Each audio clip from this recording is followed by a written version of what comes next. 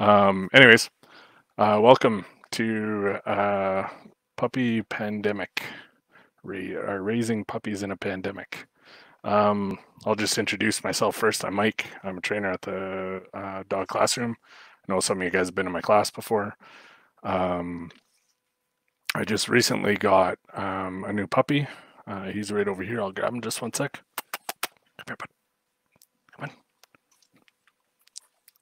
He's a moose already. Oh. So this is Augie. Hi, buddy. Yes, you're gonna eat the mic. This is Augie. Whoa, kisses. Thanks, buddy. He is. He's three months old. Um, he is a huge moose, and uh, this is everything that I've been doing for the last month. And I'll explain exactly. I'll explain exactly what that means in a minute. Can't really keep him up here too long. Let's see, you guys won't have anything coming for me. Um, anyways, so really what we want to go over today is, um, yeah, he's a big goof.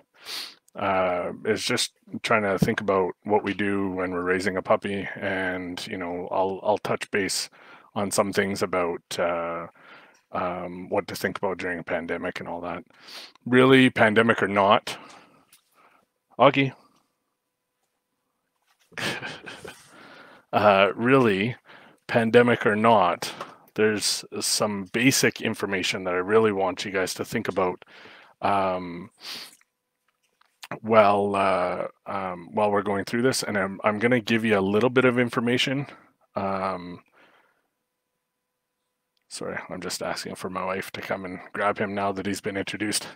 Um, a little bit of information to start off with, and then we'll kind of open up for questions here. Um, because some of this information that I'm going to give you uh, really is the basis for what we do um, with puppies in general, um, and the pandemic doesn't change too much with this.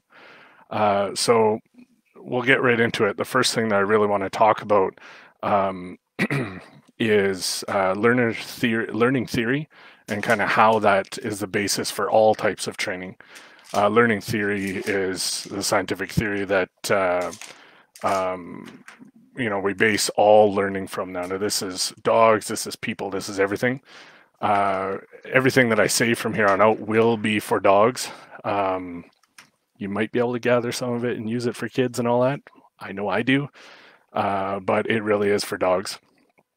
Um, another thing that I want to preface all this with too, uh, when we get into it, is um, you know if you are having issues, if there's any uh, chance that you know when you're using some of these things that we talk about, that there could be some injury to individual or to the dog itself, hire a professional. We always have um, consultation services. We even do some online consultation services for certain types of consults. Oh, the video keeps pausing. Hopefully you can still hear my audio. Um, with uh, uh, online uh, consultations, we can do as well. So if there's any issues like that, uh, don't just try to keep working through it. Get in touch with a professional dog trainer so they can help you um, solve some of these issues. But anyways, um, in learning theory, we really want to think about uh, two main things that uh, can kind of frame how we go about uh, bringing a dog, a new puppy into the world, right? One thing that we want to think about is classical conditioning and uh, what that means to dog training. In classical conditioning, uh, if you've ever um, read anything about it, basically uh, the environment teaches you things, right? It's it's a passive way of learning. Um, something happens in the environment, it's beneficial to you, you learn from that. Um, there's another uh, thing that we talk about um, which is operant conditioning. And this is the way that we interact with the environment and we learn how we can change the environment. Now, with dogs, that happens as well. And one thing that I really want to point out about classical conditioning with uh, dogs is they're always learning. So if you're not taking part in helping them learn, they're going to learn whether you like it or not, right? So we really want to think about that when we're bringing puppies into the world uh, and know that they're always going to be learning. Now, they can do things, see the results, learn from that, operant conditioning, right? Or things can happen uh, naturally and they can actually learn that when this thing happens that isn't done by me, these other things are a consequence to that or something else that happens. And I may like or not like that. And I can start pairing those things together. So, what does that mean? Well, when you are bringing a puppy into um, your house, you got to think about management first, right? Always start with management. You got to make sure that these puppies are going to actually make good decisions as often as possible. Now, what does that mean? Well, uh, that means puppy proofing the house. You got to go through the whole house. You got to, um, you got to, you know, bring things that are at puppy level, bring them up so they can't access them. You got to make sure that um, um, you have a space that they can explore, that you have control over so they can make some good decisions, only have their toys in there, those types of things. Um, and really, if you are managing them properly, they can make a lot more good decisions for very few bad decisions, right? Things that we don't want them to do. And then from there, when they make these decisions, they re- realize that there's good things that happen to those with those decisions, and they continue to make good decisions over and over again. Right? So that's classical conditioning at work, teaching them that all of these different things that happen in my world, um, good things happen if I keep doing these things. Right? And then they, once they've explored the world enough, you can start expanding those world, that world. And that's where we talk about uh, doing something like uh, keeping them on leash or having a puppy play den in your in your house so that you have this really strict control of their environment uh, and you can make sure that they're making good decisions all the time as they as they get a little bit older you can start expanding that environment so the puppy play den instead of an x pen being inside an actual um, room only and maybe their crate you can expand it to a whole room with some baby gates and then expand a little bit further. And whenever you're venturing outside of the puppy play den, you can have them on a leash or know that you can also keep very close eye on them. So me personally, I don't use the leash technique in the house, but I'm exhausted for the last month of running around whenever Augie is in a space that's new to him because I'm constantly there making sure that he's making good decisions uh, keeping things away from him that he shouldn't have, luring him away from certain things that uh, he's going to get into that I want to actually um, take that opportunity as a training moment, those types of things. But I tell you right now, I'm I'm exhausted. It's been a month and a couple of days, and uh, the first three weeks was probably almost all the energy that I had. Um, and if my wife was on here, she would say that I was cranky for the last couple of weeks um, because of that. And, uh, you know, I'll just be honest, it's a lot of work. And that's what the puppy play den's really for, right? Once we go from there and start exploring um, other things besides just getting them situated in the house, what we want to really focus on is uh, good hab or good um, routines, right? So we want to understand what our dog needs, right, and fulfill those needs uh, appropriately and try to get them into a routine that works uh, in um, in our environment, right? So uh, we got to get them on a feeding schedule. Free feeding makes uh, um, a lot more things difficult, like being able to potty train and all that type of stuff. Um, but we want to get into those routines. And then that way you can actually really be successful at managing as well, because you'll know when your dog needs to go to the washroom, you'll know when they need to nap, um, you'll know when they need a little bit of exercise, those types of things, once you really build a routine. So, something that a routine looks like uh, at the beginning is small, right? Uh, puppies usually they wake up, they eat, or maybe pee and poop first, then they eat, uh, or flip it the other way. They do a little exercise and then they sleep. That's a routine. Get that routine going and use that every time they're awake. You're going to do that routine, right? And then maybe they're uh, you adjust it a little bit by putting them in a crate whenever they're sleeping, and building on that routine. And then they're going to change in a couple of days and they're going to explore a little bit more. They're going to stay awake a little bit more. They're going to maybe eat a little bit more. So you adjust your routines from there and try to keep focus on those routines so that you can plan things out and still continue to have um, good decisions from your puppy as often as possible, right? So let's talk about that potty training a little bit. If anyone's been in my class before, I've mentioned it, right? Once you know their schedule, you know every time they get up, they got to go to the washroom at least a pee, sometimes a poop. Every time they eat, a little bit shortly after, well, they'll eat and drink a little bit shortly after, they got to go to the washroom, right? As soon as they play, they got to go to the washroom. And um, if they get distracted for some odd reason, think that they got to go to the washroom, right? So you're in the middle of play and all of a sudden they disengage from play and they start sniffing around. That is a cue. Take them outside, wait till they go, right? And that way they're making good decisions when they go to the washroom for potty training. They're outside, um, they're they learn to go outside they get good praise when they're outside, when they're going to the washroom, and whenever we have accidents inside, we just clean them up, that type of thing. But that teaches them uh, going that going outside is the right thing, and that's what we want to do with with them, right? Now, um, there's a few other little things that we can talk about, and you know, if you guys ask some questions, um, we can we can definitely talk about them. But I want to get to the one big one, and that's really uh, what I think a lot of people come to, um, you know, raising a puppy in a pandemic for, and that's talking about socialization, right? Now, we've all heard it before. Socialization in the first few months is vitally important. Uh, it should actually start right from the breeder, and there's um, you can Google charts, and I don't know if Amelia will post something with this, hopefully, um, that can help kind of guide you on what veterinarians recommend for socialization on uh, you know age ranges.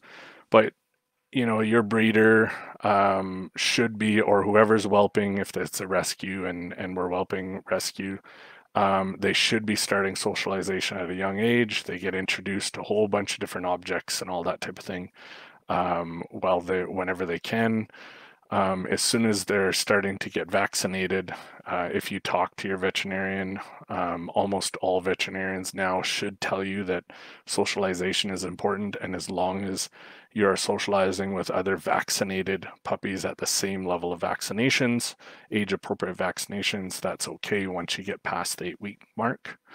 Um, and they get their first set of shots. Um, I think it's a week after that. Everything's good to go. Um, obviously if you're going to places and stuff like that, um, you'll want to, uh, there's Amelia just posted, I think, in the uh, chat there for the dog classroom, um, one of the socialization uh, charts there. Uh, if you're going to places, you want to carry your puppy when you're in a space that has a lot of uh, activity with dogs. So if you're coming to puppy play school, you can carry them in once you get them in uh, that type of thing. In a pandemic, that isn't possible. It's great that you guys have this resource that we have for uh, like social media accounts to be able to connect with other people that have uh, puppies. But socialization isn't just around other dogs as well. It's around everything that they're going to experience in life. Um, and you can be pretty darn busy socializing them with everything else besides puppies and just getting a few here and there as they're getting vaccinated um, in the first little bit of other puppies and and working around with them uh, with other puppies, you can be pretty busy with other things as well. So what does that mean? That means hearing uh, you know tools banging, uh, cars driving, uh, doors opening and closing, seeing different types of people, all of these different types of things we really want to think about um, and if you could think in the first couple of years of their life, right? Because hopefully after about two years, they will have experienced full, you know, annual cycle with you going to camp or whatever you're doing. Sorry, I call it camp. We're in Northern Ontario, right? Um, we're you know experiencing all these different things if you could think through everything that they could experience in that time and try to set them up so they can experience that or something very similar new experiences are great we have to watch how they're actually experiencing it too. We don't want to overload our puppies. We don't want to see that they're upset. One vital mistake that people do when they're actually socializing puppies is they see something that is um, you know a trigger something that your your puppy is a little afraid of and we just flood them with that experience and that could actually have the opposite effect so what we always say when we're teaching anything in, in dog class is you start with baby steps. So if you think of, you know, uh, Augie, for example, there's uh, less than a block away, there's a dog that goes outside and in a fenced in yard, can't see out of the yard. So it does a lot of barking whenever there's any new noises in the environment. And it's a loud, loud, deep, it's a big dog. So whenever that dog was barking, you know, we were outside and having our business, and that dog would bark, and Augie would go flying into the house as fast as he possibly can, terrified of that noise when we first got him, right? Um, and one of the reasons uh, I know from the breeder is that they lived uh, in a remote farm, so they got a lot of socialization with everything around them, but they only really had a couple dogs around to do it right when they uh, were starting that socialization, there was a big snowstorm there, and and they couldn't really go anywhere or anything like that, right? So um, I saw this, and it, obviously it, you know, there's a little check mark in the brain going, "Hey, I've got to work on that." But I didn't immediately grab him and hold him outside and try to make him do stuff uh, right there so he can experience it he went inside that was it. I put that on the list of things that i've got to work on. And what i did uh, the next time i knew that dog was outside is i went out the front door and i walked a little ways away and i made some noises and uh, seeing if we can get that bark a little bit and it so happened that Augie got super, super um, uh, uh, scared at that moment and wanted to run back in the house. So I made a note of that. That was too much as well. And I decided to do a whole bunch of other socialization with sounds, uh, all the different sorts of sounds. So we got used to all these different things like the blender in the house, the coffee grinder, all of these different types of things, um, and got him used to that. And then we tried it again, even further away. And all of a sudden, he was okay with that. So we went from there um, and slowly built up. And now he can walk around there. We're not up yet to the point that we can walk right up to the uh, fence where he can't see the dog making noise um, or, or the thing that's making the noise. Um, but we can see other dogs uh, further away that same that bark loud like that, and we can come right up to him if as long as he could see them, and that's good enough. And we'll continue to close that gap over time. But that's a perfect example of us not overwhelming our dogs trying to socialize. And we mean well, but we have to make sure that we're paying attention to them and we understand their needs so we can go at their pace and we can set them up for success. Now, if you're going through your community in your area, there's tons of different things that you'll find there to socialize um, with. I would always suggest that when you're seeing another dog or anything like that, as a puppy, being a puppy out on a short walk, um, you probably want to just stay away from them for now. They're they're um, vaccinated, but they are a training uh, tool. That's a training moment, right? You can work uh, with your puppy just to experience that the dog's around and they don't have to worry about anything moving like that. Yeah, and and the way that uh, Amelia is mentioning noise sensitivity, that's that's the key. Um, one thing that we we learn um, with learning theory is generalization happens dogs aren't great at it. Um, sorry, let's understand what generalization is. Generalization is if I learn one thing, uh, let's say I learn to do something with my left hand, I could generalize and learn to do with my right hand.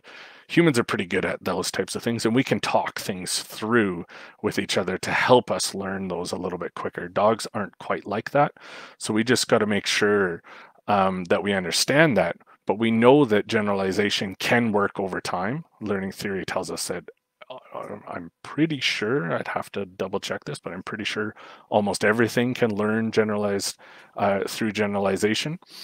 Um, but dogs definitely can with a little bit, if we go at it a little bit slower than what we would with a person. So what does that mean? Well, the dreaded thunderstorms and our our uh, dogs being uh, terrified of that thunder or fireworks. Well, if you're constantly teaching them that all sorts of noises are perfectly fine and there's nothing to worry about, and you start small and slowly build up, next thing you know, any new noises in the house, there's nothing to worry about from those. And then it's new noises outside, uh, louder noises, thunderstorms, and and loud vehicles, and those types of things just kind of fade away, and they're never actually a problem, right? Yeah, consistency is important. Um, so I kind of went through spiel. There's a, there's a whole bunch of stuff that uh, I could say extra there, but this is a Q&A. Um, kind of framed it for us that we understand that we've got to um, realize that they're constantly learning and the things that we do uh, to get them to learn uh, the right way with management and all of that. And then I kind of talked about socialization. I want to see if we've got um, uh, any questions or anything from here. Yes, using Alexa or using your phone, we actually have a very powerful tool in our pockets now, uh, Kenton. Um, our phone, YouTube, you can if uh, i actually did this a little bit with augie i didn't do it too much because it was a little too distracting for him but he was when we first uh, um, encountered the uh, the dog barking scenario in the backyard uh, I brought him in and I found, you know, a different type of bark, a little bit lighter bark, and I played it on uh, uh, on my phone on YouTube. And you, you can pretty much Google anything or, or, or search anything on YouTube, and uh, you'll find something uh, audio of it somewhere. So I kind of used that uh, at first, didn't quite make it, and then after we got into seeing a few more puppies and understanding the puppy bark, it, we went to um, um, uh, going to louder dog barking and everything was okay there. Puppy biting, yes, that's a good one, Amelia. Um, your pup not instigate rough play. Okay, I'll get to that too, Bev. Let's start with puppy biting first, um, and then we'll go to about rough play and what we do uh, with that. So, um, and, and puppy biting kind of bleeds into that a little bit when you're talking about rough play and whatnot of the dogs in the home. Yeah, that's a good one as well. I do have an older dog at home, uh, and I'll I'll very much speak to that uh, in a moment. So puppy biting, what to do? Well, uh, if this is going to sound weird, but uh, my philosophy is you don't actually want to stop puppy biting because puppy biting is an important role or is something that plays an important role in the development of your puppy they learn bite in, inhibition. So when we're talking about when they're engaging with other dogs and that, as long as that other dog is properly socialized as well, or they are puppies and they are growing, the melding that they do is perfectly fine. They will give each other feedback, and we just have to worry about the intensity that's happening with our puppy because um, that's something that we work in class, right? When we're playing, and anyone that's on here that's been in any of our classes, we break up our play sessions and we bring them down from that super excited, highly aroused state, right? Because they start not listening to each other, right? And and if another puppy whines or something like that, your puppy ha- in that moment needs to learn to let go and to not actually bite that hard next time right? So what does that mean with us too? Well, it's the same thing. When they bite us, we have to tell them that it hurts, right? We can just, ow, ow, right? Ow, ow, ow, those types of things. We have to show them that what they're doing is not okay, right? And if they don't listen and they're too excited, we need to be able to step, stand up and walk out. That's what um, a puppy play den is really powerful for.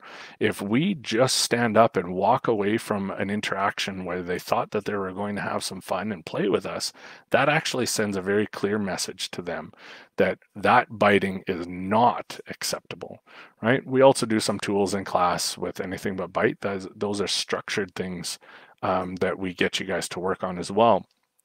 I do want to, now that that point just came up and it reminded me of something, I do want to point out something though. A lot of things that we show you in class and the way that we do things in class is drastically different than what a trainer would do at home. And I kin it to, um, you know, if you've ever talked to a nutritionist or something like that, or or you go to a gym and you you talk to um, a personal trainer and they help you with your nutrition there, they're going to give you a nutrition plan. They're going to give you a structured way to do something, and they do that because they show you something that they know can get results if it's been followed uh, properly, right? But when we're talking about like a trainer at home, we don't do these things structurally. Um, we take every opportunity that we can to actually do some training and we adjust and adapt to the environment uh, and and that certain uh, scenario to get some sort of training out of it. So that scenario where we're playing and all of a sudden our puppy starts biting us and oh oh oh doesn't seem to work at all and they just keep getting more excited and more excited that's our opportunity to give them a real clear indicator that um, uh, that we are not having any of that. Um, with other puppies and they're playing with other puppies, we have to be involved because our dogs will learn on their own. Remember what I said about classical conditioning and, and operant conditioning. They're going to learn whether we like it or not. And if we just let our our dogs play with our puppies play with our other dogs, fully grown dogs, right? They will get more amped up, more amped up, and then they will learn that they're able to get that amped up and continue playing. And what it means for senior dogs um, at home or just older dogs in general that aren't puppies, usually your other dog will get fed up because they don't play as long as puppies do. And they're going to be very upset about that. And they may actually teach them, the, the puppy, that it's okay to respond and correct really um, forcefully in those moments because they're frustrated. The older dog is frustrated. That's why we have to be part of it, and that's what the puppy play den's all about. When we can't keep keep um, active watch and keep control of that uh, interaction with our puppy and our other dog, we need to separate them. They need to have their space. We need to respect the other dog that's in the house and know when it's time to separate them there. Um, I want to kind of briefly talk about Bev's um, uh, rough play, ankle biting, that type of thing now specifically. Um, now, when we're talking about that ankle biting and stuff like that from a puppy is generally okay as long as we're working with another dog that's well socialized because they will shake them off, um, they will push them away, they will um, use verbal if they need to, those types of things. Um, but you have to be careful um, if the other dog isn't properly socialized with that puppy um, because the puppy may take it too far and and then your other dog may take it too far. So we have to be careful that there's nice clear communication but there isn't an overcorrection there um, because that may actually uh, change the the path of learning for your puppy, and they may start picking up those behaviors of overcorrecting for things like that. A little bark or a little um, shake off or or you know push them down that type of thing where the other puppies or the other dog in the house is doing those types of things that's perfectly fine um, there's some nuance that's past that and if uh, i can't really you know, we'd have to look at specific scenarios for me to get too deep into that. I'd suggest that we get um, some private consults or uh, if you post uh, videos in our, our, you know, if you're a past student, you can post some videos in our student um, group and maybe we can get some comments from some of the trainers. I know we always like to dissect videos and stuff like that, so you might be able to get some help there, um, that type of thing uh, I think that kind of covers a little bit of the other dog in home with separating them uh, when we need to, when there's over arousal, those types of things from the puppy, um, and instigating rough play. We have to be involved in that rough play. So I think I covered everything for you, Bev. If not, just let me know with another comment there. I'm going to move on to Amelia's uh, common question that she's had before about pinning our puppies down for biting. No, no, no, no all I can ever say about that is you got to stop watching Cesar. I'm sorry. That is not the right way to deal with it. And to be quite honest, that will actually have, uh, most of the time, will have a very opposite effect. They'll actually start seeing you as an issue and they'll have problem you'll have problems with them interacting with you that goes that goes with pretty much any aversive that we use right aversives is any you know a negative uh, interaction with their dog. I'm not going to say negative reinforcement or positive reinforcement because those are actually different words in the in, from the scientific community. They're actually used very different. They don't mean what the um, people um, uh, the layman would use them as. It's not that at all. But what i'm saying is uh, choke chains prong collars pinning them, hitting them, smacking their mouths closed, all of these different things. They do not do what people think they're actually doing. And they have a different effect with your relationship. Um, so an example that I can give about relationship and what how that would actually change is right now, and my wife has said this to me, I've I've got a good bond uh, with Augie right? And the reason why is because all the interactions that he has from me are very positive. Uh, he knows that he can look to me to help solve problems to, to, when he's upset, when he's afraid. He looks to me, he comes to me, and this is all because everything that we've done is built this strong bond already. We can have that with multiple people in in the house and whatnot, but right now it's with me. He moves with me everywhere because he knows with me he's safe. Uh, and he's going to have fun when I interact with him um, I also give him everything that he needs, right? So he's going to do that. When we start having uh, uh, throwing aversives in there, they start questioning that, and it actually can extremely hamper everything that you do with training in the future, right? So they when they look at you in a scenario where they come in and maybe they're mouthing you because they're playing and you smack them then uh, they or or uh, pin them or or clamp their mouth closed they start looking at that as mm, maybe i don't want really really want to interact with this. We just got to guide that right? We got to make them have better decisions. So we're going to always have um, uh, toys interacting with our play. We're not playing with our hands because if we always play with our hands, the likelihood that they're going to bite us is going to go through the roof. That's managing the environment, right? Now, the pinning too, it actually doesn't do much besides know that sometimes when I come over and we're playing, I'm going to throw you on the side and, and hold you down, and you may not like that, right? So it, you're really not getting anything that you know somebody that um, suggests that is really telling you that you're going to get you're not getting any of it. Um, maria i or sorry marie sorry. I see meant uh, jumping on you. We're talking about how about jumping? Yeah jumping's going to happen. Uh, puppies, you know, one of the things that they they learn uh, very quickly is they get interaction and they get feedback from our faces, right? So they're always looking up at us and they always want to get closer and they have interactions with us like that. So that a lot of times they're going to jump like that, but they're also going to jump when they see things or smell things that are higher up uh, that they want access to. Consistency is the key here. We want to make sure that we're going to reduce the likelihood that they're going to do it, managing um, their environment. So, for example, um, you know, when I'm in the kitchen and I started this right away. I'm actually planning on posting a little short video on our student group, so you guys that are part of our student group, go ahead and watch that uh, when it when it pops up there. But when I'm in the kitchen and I'm doing anything in the kitchen, I'm going to make sure that he's going to make the right choice instead of jumping up and seeing what's on the counter the whole time they're in there. Even though he can't reach the counter yet, I'm already conditioning him. When I work in the kitchen, you're off on your mat on the side. You're over there. I'm going to feed you um, when I'm in the kitchen kitchen and work when I'm making supper, they get fed first. So as he's eating, I'm doing stuff. That's teaching him to stay away from the counters. And then when he's done, I put him on his mat and I'm tossing treats to him over on his mat as often as I can. And when I can't do that, like I've got to make supper really quick because my daughter has a dance uh, in a half an hour and we got to go, go, go. I'm going to grab him. I'm going to put him in his puppy play den. Uh, I'm going to have somebody with them on leash outside of the room, that type of thing. And that way they're not jumping up like that. Now, when they're jumping up for us, we just got a, a nice, easy thing to do is replace that. And people have heard this before in my class. If you don't like a behavior, replace it with something that you do like, right?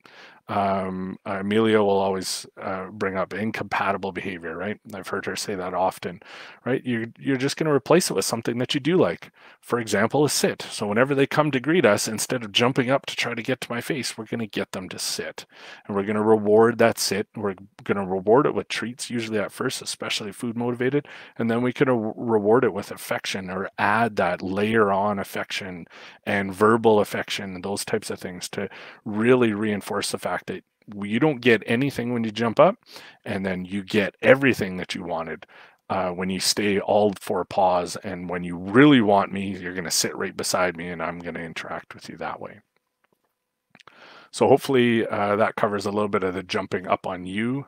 Uh, reach tables, counters, investigate food. So one thing that I'll say, Sheena, about um, reaching up on tables and counters and all that. I did mention about managing it where it's a training opportunity. And I'm going to push them off to the side onto a, a sorry, not physically push, but they're going to be off to the side.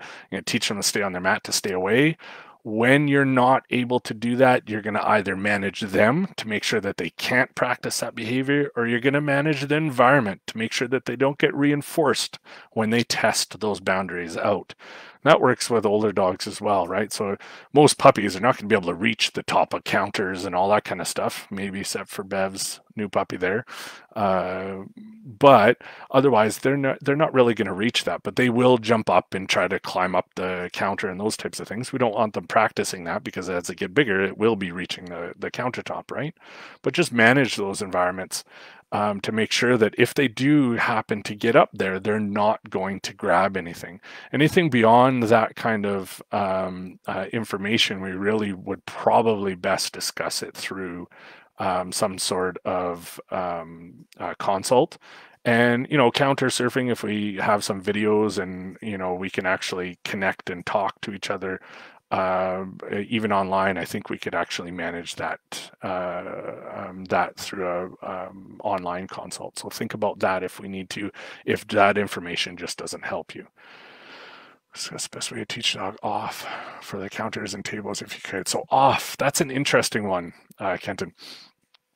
Off means nothing, just like any other word that we use with our dogs. It means absolutely nothing to our dogs. So if we actually haven't paired that sound off, that sound to them, to something that means something to them, saying that word to get them off is going to take a very, very long time for them to get the message. I just would not do that personally. Uh, what I would actually do is I would teach them not to go up to begin with. Then you don't have to worry about the off after they're already up there, right? If you're teaching something like you want them off and you want them to know that word that's more of a we want them on furniture and then we need to be able to ask for our furniture back when we need to if that's what you do i have 100 pound plus dogs none of them go on the furniture but if you guys are doing that you teach them the way that we've taught you guys verbals uh, before, right? You just tell them what you want, show them what you want, reward them. You guys have heard that uh, that have been in my class. For anyone else that hasn't, think that through a little bit. It's it's pretty simple. You say something, and then you're going to pair it with something that you want them to do. So if they're up on um, uh, a couch or something like that. You can say the word, you can lure them off. Once they get off, reward them once they get down. Then they'll start learning what that word is. But just saying it over and over and then shoving them off whatever they're on, they're not learning that at all. So I wouldn't even go there. I would try to prevent the behavior before it even happens. Once they're up there, it's simply just moving them, use your body, block them, slowly slide them off, make sure they're not going to get hurt right? Once they're off on the ground, um, we're we're done with that. Think of a better way to catch that behavior and actually reinforce staying on the ground is the better way to deal with that. Um, puppies who eat socks. Yeah, uh, Caitlin, the really that's a management thing. Um, they shouldn't have access to a place that socks are. uh, especially, and this goes for anything with puppies. When they're first in your house, they are exploring everything right? They need to check out everything, and some things are interesting to them, and some things are not. And then a couple hours later or the next day, the things that weren't interesting to them are all of a sudden interesting to them. We have to be on our toes, and we got to manage the environment and make them make good choices. Often, with what I've seen with socks, is early, early on, they're really pumped about socks. And as long as we manage the environment for a little while, socks aren't um, inter- as interesting. Also, if we teach them at the same time, this isn't managing the environment, but we teach them fun things to play with. So we've got the right toy that they engage with with us. Maybe it's kind of like a sock, but not really. You know, uh, um, plastic uh, water bottle with uh, inside a fire hose that's sewed up nice and tight, you know, something that's a little bit more interesting, we can always redirect them to these interesting things uh, and engage with them in there. And then you're also building your relationship and teaching them to play with toys with you as well. But those socks, once they're in there, uh, we got to get them out. Usually trading works um, early on you get a nice yummy piece of food and you trade up you could always use a leave it cue just before that if you want. If you've really worked leave it's that'll work great to actually get the sock out and then you don't have to trade but you can use the cue and reinforce your cue those types of things. But in the beginning pick up all the socks get a hamper that closes put it in a closet manage the environment so they're not grabbing those socks all the time. Uh, let's see what's next here. Chewing laundry, either dirty, clean. Yeah, yeah. So same thing, Haley. Um, seven month old, you're getting. There's still definitely puppy there, a little bit of puppy, getting adolescence, that type of thing. But they're still exploring the world, and they're starting to get into the second and third phases of testing their boundaries, right? So at seven months old, um, we really have to get on top of that. We got to manage the environment as much as possible, and we got to teach them that there's other things that are more fun to play with, right?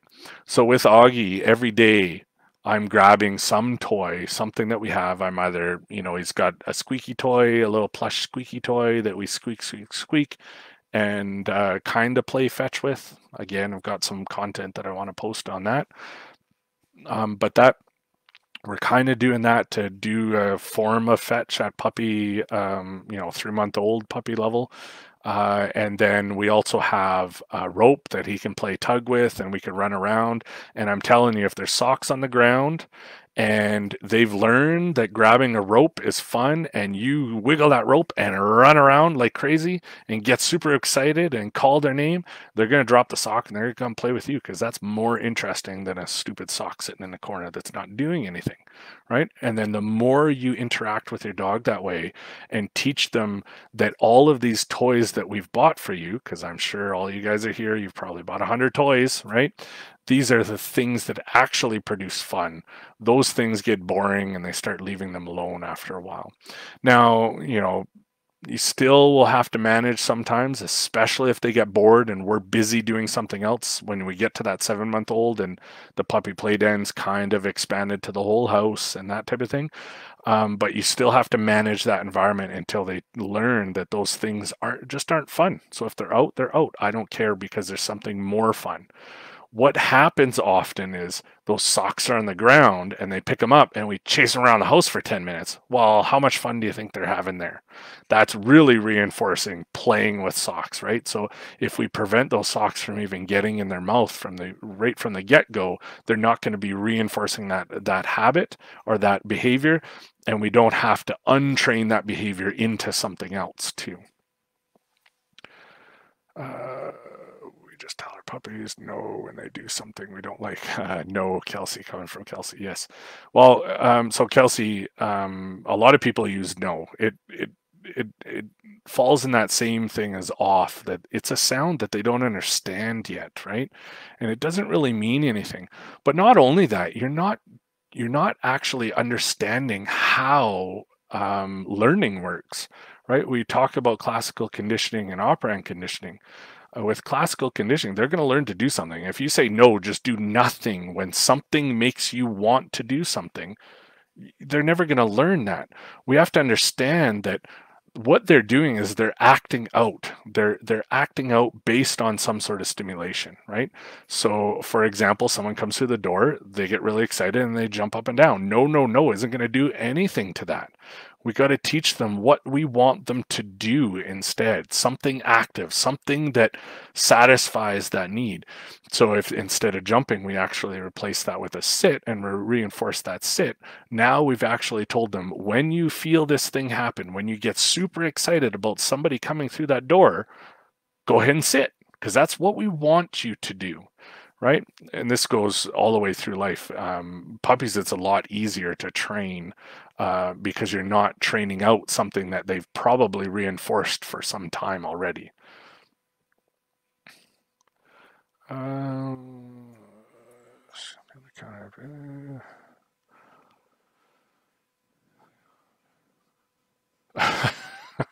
uh, Debbie, that's good. Maybe they you did teach off somehow already, right? Yeah, it's it is hard with kids. So I have two children right now, uh, nine and eleven. So they're a little bit older, um, but I didn't teach them well enough, I guess, because they still leave their clothes around. And yep, they catch it. Uh, those puppies will find it. But if you are really working with that, uh, keeping them in um, your sight at all times, puppy play den when you need to, that type of thing um, you should be able to minimize getting those socks, those mitts, um, you know, stuff like that um, because you're staying close to them. So when you enter an environment, a new environment, like a new room in the house, do a scan, take a look. If there's anything on the ground, have a toy, throw it one way, go pick it up real quick and put it where it needs to. Or call the kids in to watch the puppy now because they left something on the floor, or get them to pick it up or something like that, right? We really got to think of um, ways that we can prevent uh, those things from happening because again they're always learning if they one of the hardest behaviors to change is a self-reinforcing behavior. Now let's talk about this for a second. When we talk about um, self-reinforced behavior these are usually behaviors that have um, occurred for some time and they've now started um, being reinforcing in into themselves. So let's talk about the whenever somebody comes to the door barking right? Or somebody walks down the street and they're looking at the window and they're pounding at the window, right? So uh, that's a really good one that I could kind of explain everything that happens there. So somebody's walking down the street, they see uh, out the window that they're coming, they get amped up as they get close, they get super excited, the adrenaline's starting to pump in their body, which is reinforcing to them. It's a good feeling, right? And then they start pounding at the window or on the windowsill, and that that physical contact is actually giving them stimulus. It reinforces it even further, right? And then this cycle repeats day in and day out, day in and day out. Next thing you know, they've been reinforcing that behavior for months and months and months. And then you're going to try to reverse it. That's why sometimes when we're talking about um, behavior consult in behavior consults and stuff like that, it takes time because we have to undo some of the things that they learned and get them to choose something different that's more productive or safer or something like that and then really see value in that. And those self-reinforcing ones the ones that make them feel good just by doing it is really difficult because it's easy to revert back to that and you're constantly fighting them reinforcing themselves versus you trying to teach them the right thing to do in that moment. If you can get something that is reinforcing um, more reinforcing than that self-soothing that they're doing or or self-reinforcing that they're doing you might have some luck in there but it is difficult right? So what we always try to do is especially when you know we're talking about puppy raising here let's make them make good decisions right out of the gate. And i've always said this to people that come to my class when we're talking with pu about puppies and they interact every single time they do something you should take just a quick note your head off to the side and go hmm would that be good if they were at full size? Right. So let's take Augie, for example. He's uh, bull mastiff. Uh, right now, he's about 30 pounds. Uh, when he's full size, he's going to be 120 pounds. Is it okay for him to jump up on the couch? Well, at 120 pounds, even if I did allow him on the couch, I wouldn't want him running and leaping onto the couch.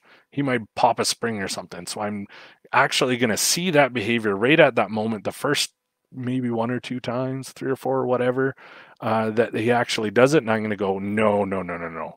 Let's do something else here. What are we going to do? When you get that pumped up, go and find your toy, grab your toy. We'll get to play with your toy instead of you leaping up and running across the back of the couch and bouncing around with your zoomies, right? So that's something that we got to really think about because once we get down the road of self-reinforcing behaviors, there's a lot more work, right? I'm not saying that it's impossible to change, but there's a lot more work involved. Uh, are my kids involved with a puppy at all? Yeah, of course. Um, they need to be. Now, obviously, it's got to be appropriate to their um, level, right? Their age level. So uh, we just do some simple things right now. We're going to let them walk them for a little bit when we're in an appropriate state to be able to walk. Uh, we're going to get them to play, but I'm going to teach them how to play. Um, often kids like to play and move their hands around lots, and that gets the dog really excited. Um, but it usually sets that dog up for failure because they're going to start grabbing at hands and biting at pants and stuff like that. Um, so we want to really get them to get involved in, in interacting with your puppy, but we want to make sure that we're setting both of them up for success. So teaching them how to play properly with toys, we're going to teach them how to treat properly to minimize any nips on the fingers. Um, you know, I'm I'm kind of talking about making sure that my kids are going to be engaged as well. I don't want them getting their fingers um, chomped down on, and then they are like, ah, I don't, I don't want to deal with this puppy anymore, or I, I resent the puppy, or anything like that. So we got to think of those things as well. Are they um, having free time when I'm not around with the puppy? Not really, unless I give them a specific specific task to do uh, with them. No, they're not because I need to be able to respond when Augie's getting too amped up or he shows that he's tired and he's getting frustrated with what's going on or anything like that. And if I just leave a puppy in a in a child in a room um, going, there's a, a good chance that Augie will start making bad decisions at some point, right? And that goes with that whole philosophy of trying to make them make good decisions as often as possible.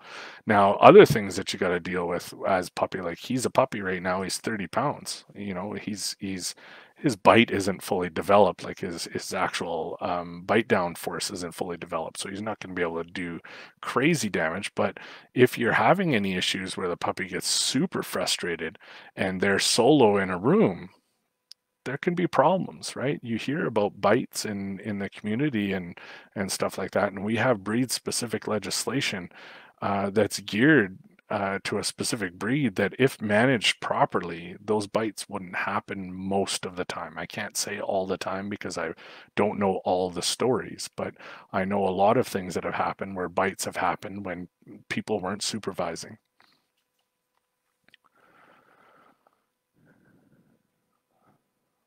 So, ooh, anxiety, yeah, yeah.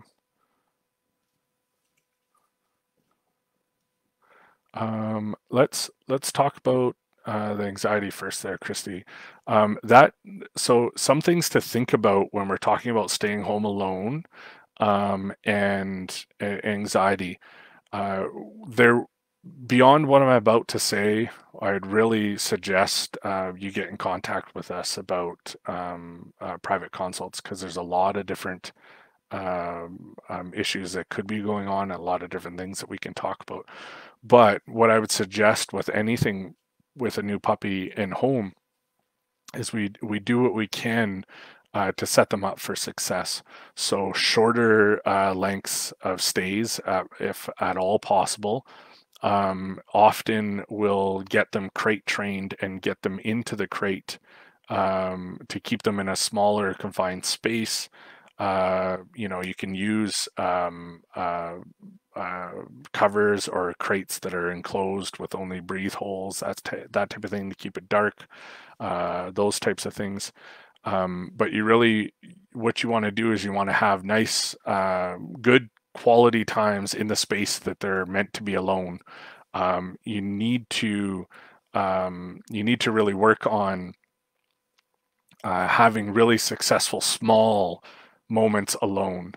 uh, and then building up from there. And that can be difficult when you're talking about having to work and having to leave for a certain amount of time. And I'd actually reach out to find some people that can uh, come and uh, get your dog out, get them super um, um, exercised and and exercise their brain or whatever you can do to really get them so they're going to sleep.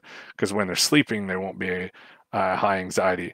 And then also think about what I said way earlier in this conversation uh, um, eh, about getting routines, because if you can manage your routines um, really well, you can actually um, you can actually get them to uh, like their crates. I'm getting a message saying that we're frozen. Uh, can you can you guys still hear me? If someone gives message says that you can hear me, it's okay if I'm frozen, but give me one sec here.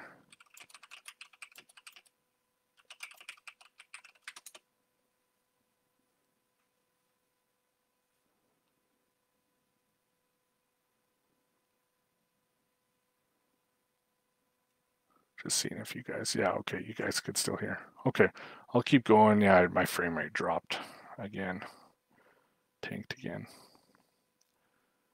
Uh, all good. Okay, uh, we'll keep going here. Um, sorry, I was saying about um, that anxiety and getting them. If you have a good uh, routine, you can actually set up for success. You'll know when your puppy is actually starting to get tired, and you can take that opportunity as a training moment.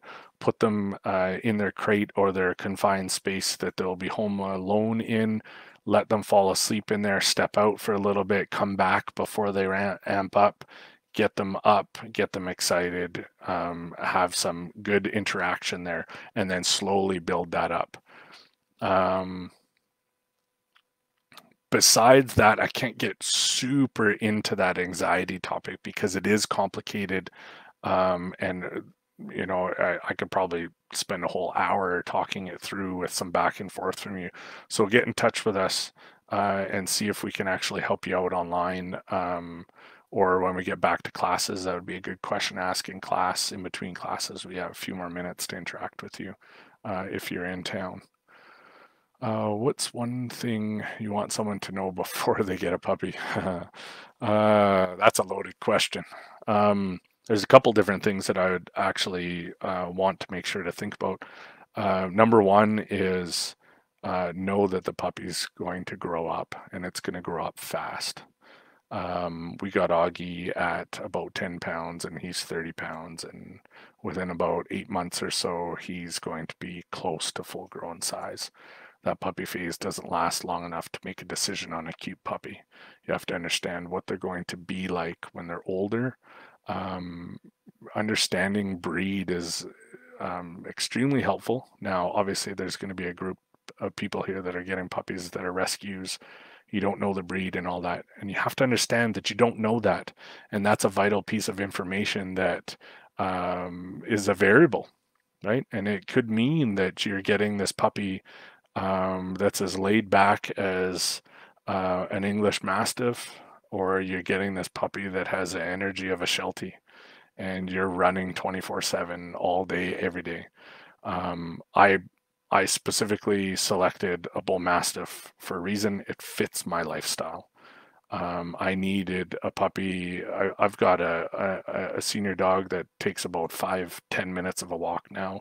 I needed a puppy that, you know, obviously can't be five, 10 minutes, but with a walk and the two kids and all that, you know, 30 minutes at most, maybe a little bit more than that, do a little training session or do some training at supper time um, and we're good for that type of interaction.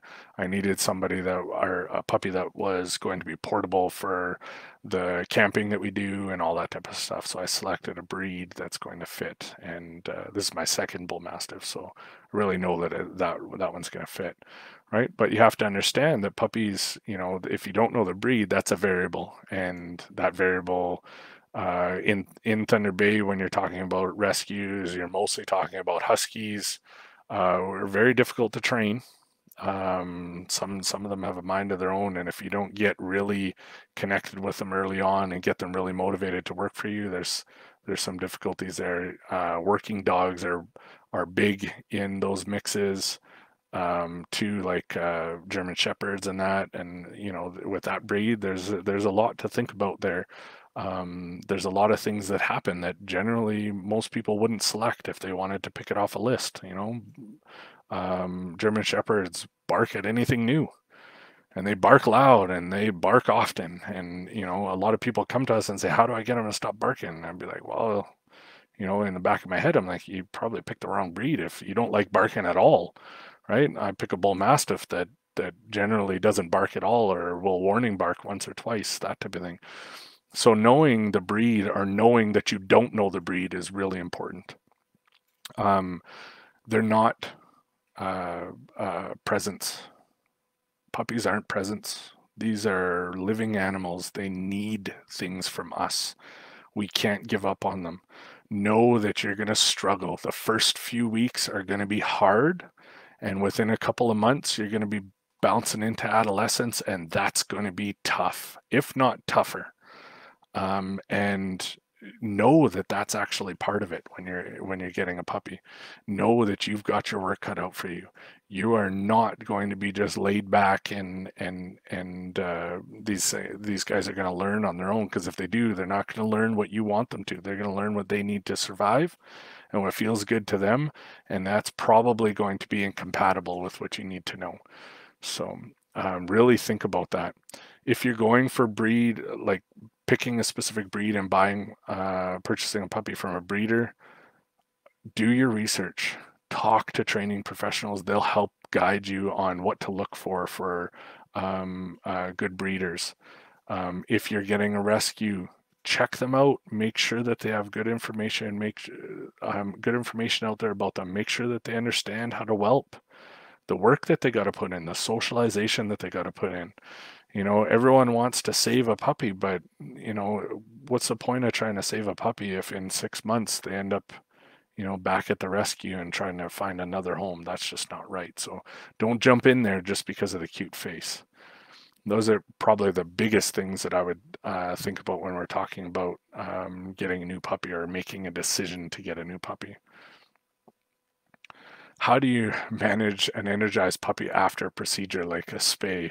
Yeah, well, so I'm I, I can't really get into specifics about um, uh, healthcare, and you know you can talk to your veterinarian on what you need to do um, for that. But crates are great um, teaching them early before they're spayed because most vets, unless they do it for uh, like they're balancing risks, they won't do it before six months.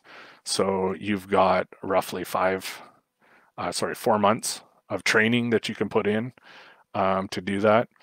Uh, most of the time, uh, a lot of brain work will actually get some energize, uh, some of that energy out before they um, before they can run around uh, too much. Um, wait your few days, right? Um, start ramping up your exercise as slowly as possible and look for any signs of lameness and talk to your vet. Um, and you can kind of go from there. Most people, you know, we've heard it before in class.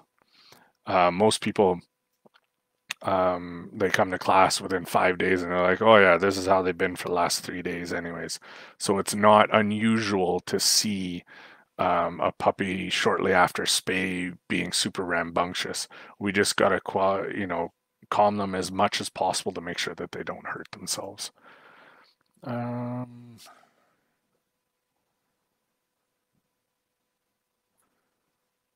what else do we got? Private sessions. Okay, I think that's all of the questions. Is there any more questions that we have? I don't know if I covered everything that I could possibly cover, but we've been going for about an hour and a bit, so we might get some fatigue now, especially if we're in working from home and all that type of stuff. Just wait a moment here, see if there are any more questions. I apologize for the frame rate issues. I'm going to play around with it a little bit more. I uh, I stole my kid's camera because I usually don't use a camera when I'm on uh, the internet. okay, well, hopefully I've given you guys a few things to think about. Um, we'll post some things, and uh, uh, I think Amelia is planning to post this video in a couple different uh, areas. Maybe we'll edit and trim it down a little bit or something like that too. If you guys do have any questions, um, you know, if you are a past uh, student, make sure you check out our um, student group. There's lots of information that we uh, will share there. Um, you often get us bouncing in and out. I can't say that we'll answer your questions right away there, um, but one of the trainers usually gets in there and gives a few comments here and there. Um, always look for us uh, online, posting our new uh, courses and that type of thing. If you guys are um, uh, registered for the next round, hopefully uh, we'll hear a little bit more information from the government um, oh, yeah, we got one more. I think that's a good one. Let's talk about that. Um, our puppy always wakes up and wants to go out all night, every hour. Why are puppy training classes beneficial? Oh, okay, here comes some more questions. Let's keep going then. Uh, yeah, puppies wake up, um, want to go out every hour. Young puppies will. They will because the way that their life works at that moment. Eat drink sleep wake up pee eat drink sleep wake up all those different things right? Um, what we want to really do with your puppy is let's manage their their um, their food and water intake close to the evening. Uh, obviously you're not going to make them um, you know be dehydrated or anything like that. Uh, but you can manage that water intake um, in the evening uh, closer to bedtime. Really exercise them a good chunk right close to the end uh, before you're going to bed and uh, get them into bed uh, and go to sleep at that time too once you get them settled down um, and see if we can sleep. Often, uh, you know, I'm I'm a huge believer in crate. So if you haven't crated, there is some changes to uh, some of this that gets more nuanced based on the environment. But if you've crate trained, what you can do um, is teach them to go for all of their sleeps in their crate. And we can slowly build up their time during the day in their crate. And if we're building up their time during the day, usually if you're sleeping and the house is quiet and the crates um, uh, closed, they'll wake up a few times um, and be all right. Uh, some things you know, one thing that I, will say with crate training, and this is often isn't in videos um, that people talk about, um, but it's something that I've had to do uh, a few times with crate training, is they get good with their crate and then they start protesting in their crate. Not necessarily that they have to go out, but that they want out. Um, and often I've had to, um, and I did this with Augie um, once or twice, and then he kind of picked it up pretty quick. Um, is that when I knew that he was full, uh, like didn't need any food, he didn't need anything like that. He went out to the washroom. He um, had both uh, poop and a pee. Uh, he's been um, exercised, and I know all of his needs have been met. And we put him in the crate. We get him to settle in his crate, and if he gets up, I just pop over to the crate. I sit down in front of it and I just sit there right in front of the crate. And they're going to whine a little bit um, about protesting to get out. And that's different than I need to go to the washroom, uh, those types of things, because you know you've dealt with all those. Um, and if we work on it um, early enough, they tucker themselves out within a few seconds uh, and they've learned to fall asleep and then you can slowly wean out having to be near the crate um, to do that. Now that happened within the first two weeks uh, of him being here. When you get further on uh, later in life you have to do more work of prepping that crate to be the place that they sleep. Um, and there's a little bit of changes that ha- that go into getting the crate to be the best place. We have to really work on that um, throughout the day, and every time they sleep, they go in the crate. We close the crate. They sleep for whatever a couple minutes they're sleeping. Um, usually, if we tuck them out, you're going to get a half hour or something like that, um, and then open the crate, call them out, and every time they're going to lay down, we're going to catch them. Don't take those opportunities that they're going to give you where they just fall asleep at your feet and you're like, oh, I've got to do some work now. Take those moments, pick them up, bring them over to the crate, get them used to the crate, that type of thing. If you're in an environment where you're not using crate, there's a lot uh, more difficulty that you're going to have because generally they'll go to the end of the room or they'll go to the door, those types of things, and you know, defecate or urinate uh, over in those areas. And now you're you're actually losing the the potty training game at the same time, right? So that's where I'm a huge um, uh, crate believer. Uh, and outside of that, I would need to know a little bit more information to work through that another live when Augie's a teen. Yeah, we'll get we'll get to one of those when he's uh, um, in his adolescence and making me pull out the little tiny hairs that I have left on my head uh, because we know that's coming. Uh, and why are puppy training classes beneficial? Well, from puppy play school, um, you know, they get a lot of interaction with uh, uh, puppies that are vaccinated, so safe interaction.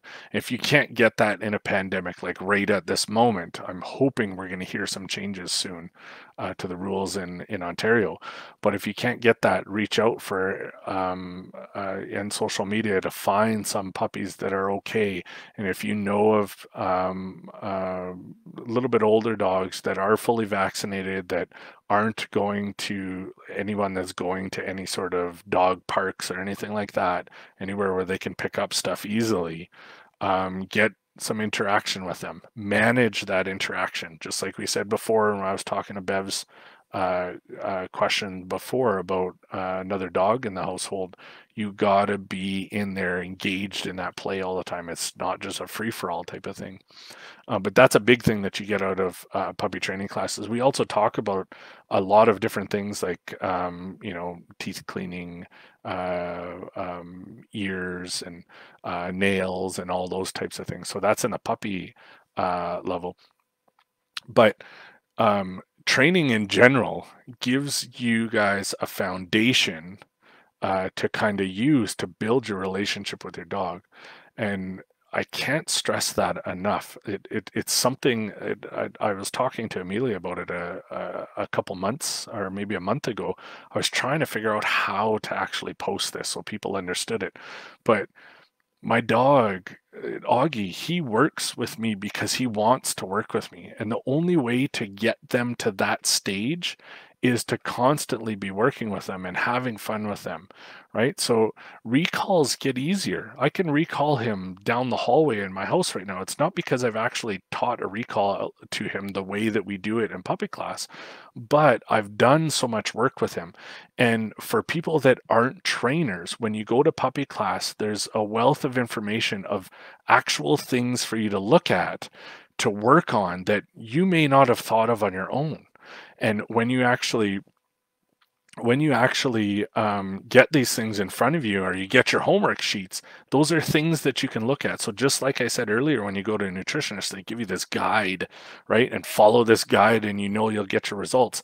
But in there is bits of information that, that they're trying to share with you on right choice uh, of foods and all those types of things. Well, when we go to puppy class, there's a wealth of information of how to train, what does it mean to train? How do we set up to train successfully?